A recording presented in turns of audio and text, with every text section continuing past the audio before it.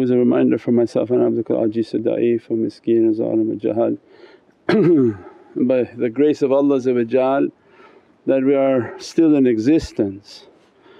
Alhamdulillah that the 11th month of Zulqa'dah opened and the beatific tajallis that Allah granted for us to have a life in which to be dressed by these realities to see and to witness the opening of this holy month and that a reminder from the heart of awliyaullah about the reality of the eleven, the reality of La ilaha illallah reflecting into the heart of Muhammadun Rasulullah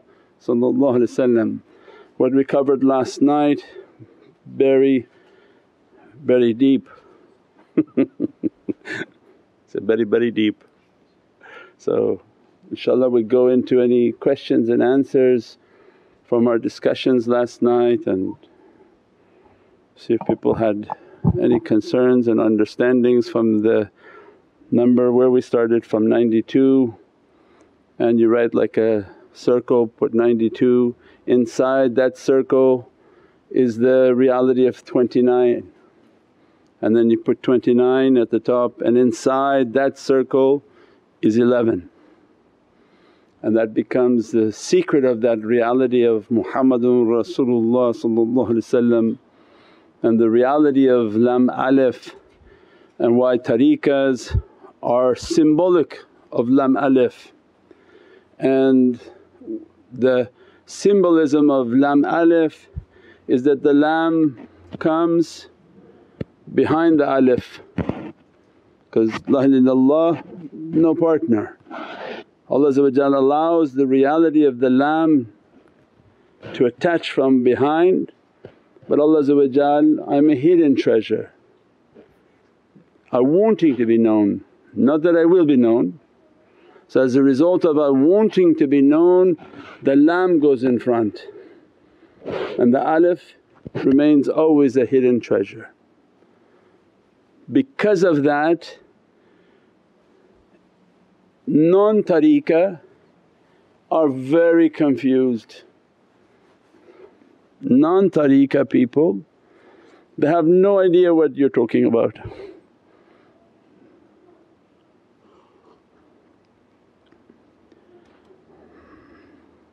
They don't see the importance of the lam and they think their whole life is to focus on the alif.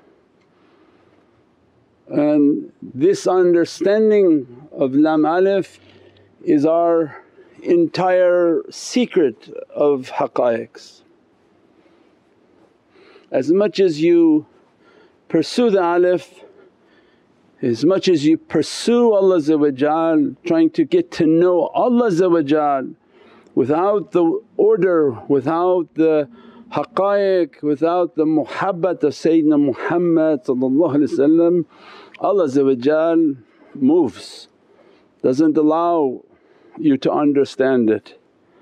So as a re result they keep trying to move to that reality that I only want to know about Allah I only want to hear about Allah and they never reach to any reality and they teach always very superficial because they're not able to reach.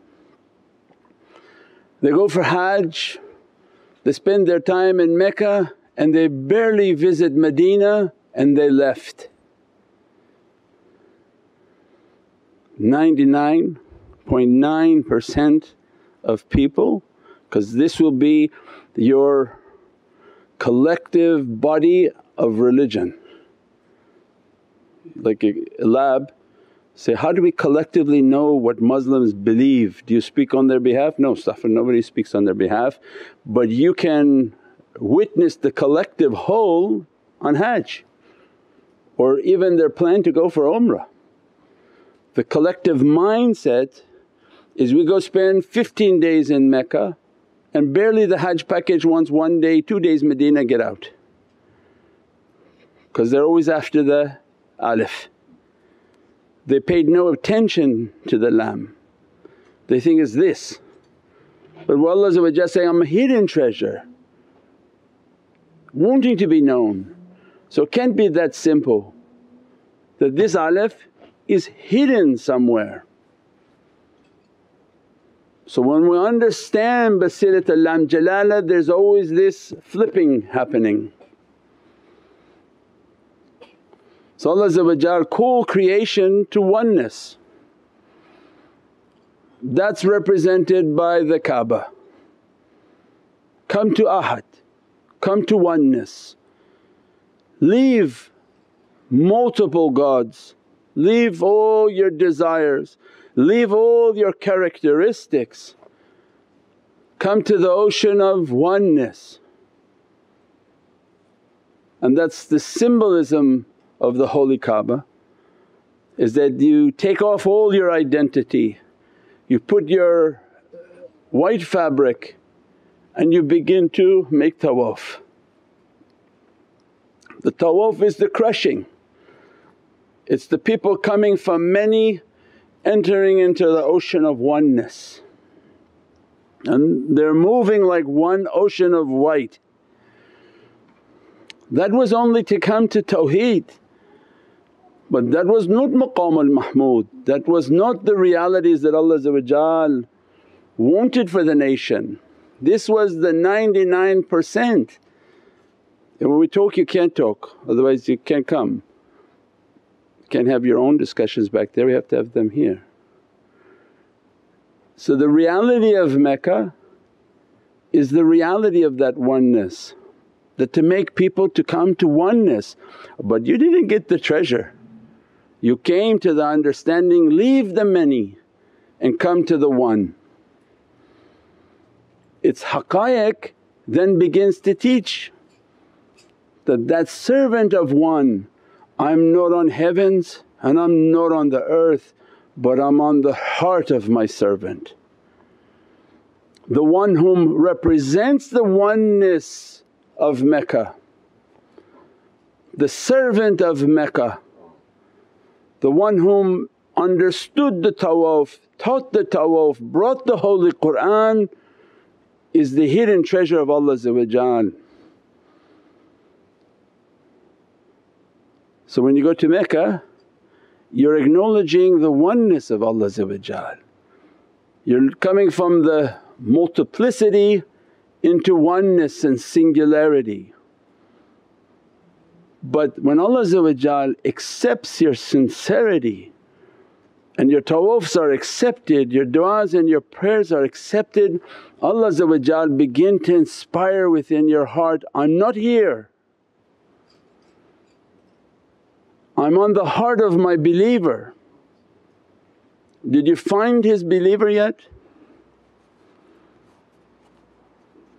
Means then these are the ahbab al-Nabi When they understood they came to oneness, they came to the disciplines of Islam and Allah opened within their heart, I am in the heart of Sayyidina Muhammad if you want to find me go to Medina. And when you enter into the holy precincts of Medina to Munawwara it's the city of light because Allah's Divinely presence on the heart of Sayyidina Muhammad in Rawzat Sharif. Allah is not in the Kaaba, the Kaaba is what you built with your hands. That has a different reality of what's there. But Allah's Divinely presence is where? On the heart of His servant his servant is holier than the stones. His servant is holier than the house.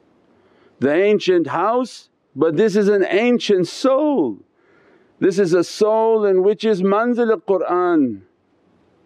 The heart of Sayyidina Muhammad So means they don't get it so they keep missing it. They keep separating the two and they go for where they want but the haqqaiq is the deciphering and a salik. The seeker it never comes open like that. The seeker is one whom seeks and seeks and through their seeking they sit with the scholars of realities and they begin to be dressed by its understandings.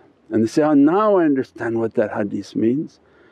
That when Allah is giving this isharat is that, find my believer, find the one whom I called my Habib in which I love. And all creation is trying to get my love but I have attached my love to the reality of Sayyidina Muhammad and that becomes the reality of the eleven, the reality of the Divinely Mirror. That when we're running towards the love of Allah it's Allah that inspire us, قُلْ إِن كُنْتُمْ تُحِبُّونَ اللَّهَ فَاتَّبِعُونِي Direct yourself to Medina and if you do it correctly and you do it with respect and you do it with ihtiram that's why all these Naat Sharif is about, I'm going to Medina, I'm standing at the qabr, I'm doing with all my respect. I did all my mawlid, I kept my salawat, I did all of this ihtiram so that Allah would accept my entry into Medina to Munawwara, into His Divinely presence. This is the greatness and this is why we said that tariqah is the reality of tawheed. They got tawheed completely wrong. The reality of tawheed, the real La ilaha illallah is in the heart of Muhammadun Rasulullah and that's the great reward of the turuqs. The path is the path to Allah path to the Lord of power which la hawla wa la quwwata illa illa billah.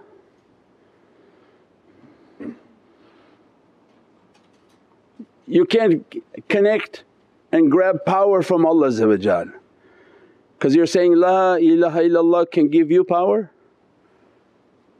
because He didn't put your name on the kalimah. But la hawla wa la quwwa means there's no help that can come to you and there's no power that can come to you but through where? It has to come from the reality of La ilaha illallah that emanating from Muhammadun Rasulullah So what the Nat Sharif said, when I heard, in the ladina yubayyunuka yubayyun Allah, the yad Allah, as soon as I heard Allah put His hand on the hand, I understood the reality. What's the Nat, the Nat says? Hati. The hand I heard I mean it triggered the reality for that wali that Allah giving these isharats, you want my hand? Take the hand of Sayyidina Muhammad where are you going to take the hand of Sayyidina Muhammad in Mecca or Medina? In Medina. So as soon as you come with adab into Medina and your life is always Medina. We're not a people who go once and then we do every forbidden thing years and 10 years until we go to Medina again. Our life is that we entered Medina and we're never going to leave Medina. And if you haven't entered Medina by watching these videos, watching these teachings, you're becoming and making a Medina in your home. When you have the salawats, have the nasheeds, have all of these realities that are being taught. We said last night, you carry the dome of Medina to Munawwar on your head with the ihtiram. It's the highest honour that Allah gave to us so that your whole character was, Ya Rabbi accept my entry into Medina to Munawwara that accept me into the presence of Sayyidina Muhammad and that every difficulty to go away. Why all these Naat Sharif are talking about mushkil kusha? That every difficulty go to away. Why? Because you reach la hawla. Hawla is help. All their life they looked for help Anywhere you go for help, how are you going to reach to help if you're not with the one whom Allah His hand is on His hand. And Allah is going to ask you, why should I put my hand on your hand? You went only to Kaaba. He said, I'm coming here for hawla. Allah said, I don't think I said in Qur'an that my hand is on your hand. My hand is on the hand of Sayyidina Muhammad and that Prophet's hand has to be upon your hand. At that time Allah Yadullah is moving onto your hand because Allah wants everything in tawheed. Nothing in our deen is based on La ilaha illallah. You can never cut out Muhammadun Rasulullah Qudra if it want to come to you, how it could ever come without Muhammadun Rasulullah You took the imam of your life, moved it aside and Allah going to send you something? It's just a horrible adab to even think like that. And that's why it's the reality of tawheed. Such a reality that those who think they're Ahlul Tawheed they actually have no understanding of tawheed because they took out the biggest part of that tawheed what separates us from every other understanding and belief is La ilaha illallah Muhammadun Rasulullah and as a result that is Allah's hawla. Every help comes onto that hand because the hand of Sayyidina Muhammad is there to resolve it. Because you're holding the hand of your imam and your imam is supported by Allah that's all you need. Every difficulty will be resolved. Every quwwah and power, this is the power source. The one whom his heart is emanating Holy Qur'an is the power of Allah because yet we don't understand what Qur'an is. Allah if the book that can revive the dead it's here. So, oh, oh, so that means what? Let's translate like science class. The Qur'an in heart of Prophet Qur'an can revive the dead. So means the heart of Prophet can revive the dead. Muhi al-quloob from because Qur'an is emanating from his heart Everything in this creation is governed by the holy speech of Allah The Holy Qur'an again meaning what? The heart of Sayyidina Muhammad So then we begin to understand hawla and quwwah that every help we reach to the hand. That's why nasheeds and salawats and all this good character, good adab, the immensity of this love so that we grab the hand of Sayyidina Muhammad and that was the reality of the bayat. The bayat were the ulul am that represented for you the reality of Sayyidina Muhammad Their life is to teach you about that reality. In our lives we have to find the moons, the qamar, qamarun the moons of the nation of this reality and their only focus is the sun. They should be focusing on nothing else and they should only be talking about the sun because the moon doesn't talk about Pluto, it doesn't talk about Jupiter, it doesn't talk about Saturn, it talks about the sun. Why? Because the sun is the light it is the sources of light, the reflections of light, all the realities of light are coming out. And that is the Muhammadan haqqaiq and Muhammadan realities. So as a life is to follow the Muhammadan haqqaiqs and realities and take a path like the moon in which it is continuously bombarded and bombarded with difficulty. The moon is not something that is uh, beatific and shiny but is something that has been intensely tested and as a result its surface is all filled with craters and difficulties and testings. We pray that Allah dress us and bless us from the immensities of the reality of Lebanon, the immensity and the reality of Zulqidah and this holy month and its tajalli. Subhana rabbika rabbil izzati amma yasifoon wa salaamun al mursaleen walhamdulillahi rabbil alameen. بحرمة محمد المصطفى وبسير سورة الفاتحة الصلاة